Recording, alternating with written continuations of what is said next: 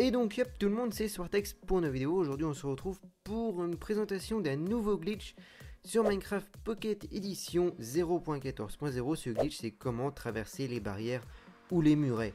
Donc, je vais vous présenter tout ça, mais avant de commencer le tuto, je voulais vous poser une question très importante.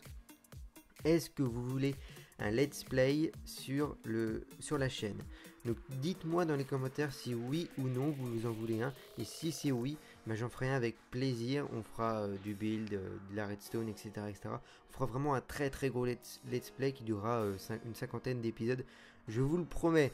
Donc c'est parti pour le tuto. Donc vous voyez, j'ai mis des un mur de barrière et un mur de muret. Donc la déco en clé autour, ça n'a pas d'importance. C'est juste moi qui voulais faire un truc plus joli c'est pas vraiment très intéressant. Donc vous allez vous mettre contre euh, les barrières. Vous prenez un bloc de sable, vous le posez sur le bloc du dessus, vous en reposez un deuxième. Vous voyez là vous êtes dans le bloc. Vous avez juste à avancer et voilà, vous avez traversé un mur de barrière. Donc c'est vraiment très con, très très simple. En fait, c'est tout simple. Donc je vais vous faire, je vais vous montrer pour euh, les murets, c'est exactement pareil. Donc au bloc au-dessus de vous, donc au troisième bloc, vous posez un bloc de sable et un deuxième.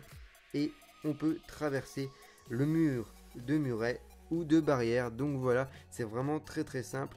Euh, j'espère que ce petit glitch vous aura plu. N'hésitez pas à lâcher un like, à vous abonner si ce n'est pas fait. Et puis moi, je vous dis à la prochaine pour une vidéo. Allez, ciao tout le monde.